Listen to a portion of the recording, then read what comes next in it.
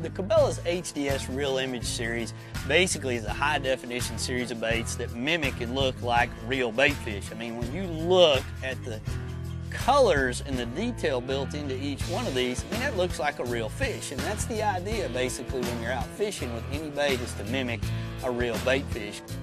A really hot technique in fishing today is swim bait fishing. And you can fish soft swim baits or you can fish hard swim baits. Now this bait is a really easy bait to fish. Once you tie it on there, all you got to do is just throw it out there and wind it in. You, you really don't want to put any kind of action into it with your rod or your reel. It's basically just a steady, steady wind that'll get that'll catch fish with this. They've got incredibly sharp hooks on there. They're going to allow you, when you get the bites, to be able to land them. And they're durable and built enough to last a lifetime.